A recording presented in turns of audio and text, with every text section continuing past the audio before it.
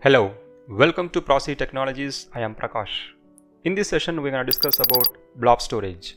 Before understanding blob storage, let's understand what is structured and unstructured data. Structured data. Rather boring you with the definition, let's straight away see their type so that you can easily correlate. Number, date and string. These are the types of structured data and their corresponding examples are 1 to 3 which is a number, October 28, 2019 is a date, name and address are the examples of string. Now we have all the structured data but the question is where to store them that is what is the source. The most frequently and widely used structured data source is SQL databases. Hope you are clear about structured data. Let's understand what is unstructured data. Their types are images, audio files, video files and text files. So Microsoft has provided a special storage source for this unstructured data that is called blob storage. Blob has the acronym of binary large object. They are used primarily to hold multimedia objects like videos, audios, text files. So overall it has a very simple definition as blob is a collection of binary data. Now we're gonna see a demo how to create blob and store unstructured data. Let's log into Azure portal. In this Azure portal, we're going to search for storage accounts in the search box. Click on storage accounts. This opens up into a new window which shows a list of storage accounts. So we're going to add a new one. Click on add. So in this new window, give a unique storage account name. Select a location. Then we're going to search for the blob storage in the account kind. Select blob storage. Then review and create it.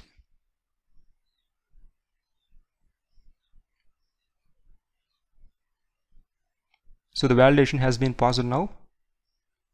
So create again. So deployment under process. New blob storage account has been successfully deployed on cloud.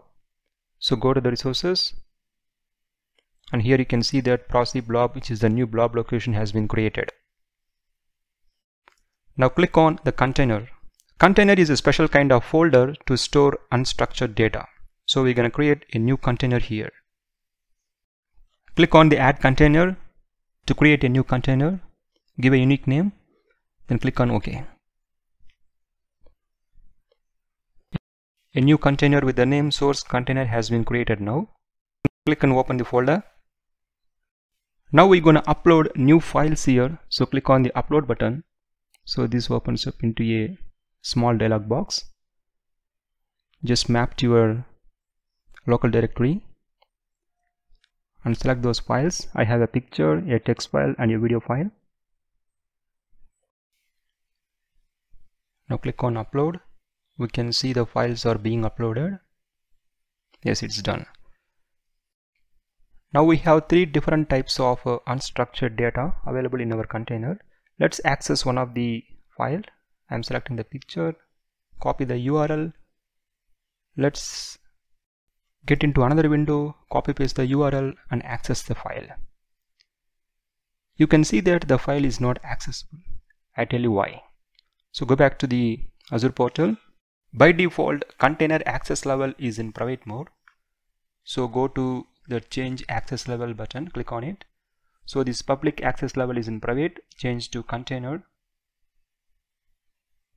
Click OK. Yes it's done. Now go back to the window and uh, check for the same file that you can access or not. Copy the URL copy paste in another window. Yes. Click on it. Yes. Now you can see that the image has been loaded. So in this way we can create a blob storage account and we can uh, store a number of uh, unstructured data files. Now we have come to the end of this blob storage session. Thank you, support me by subscribing to my channel for more videos. Have a great day.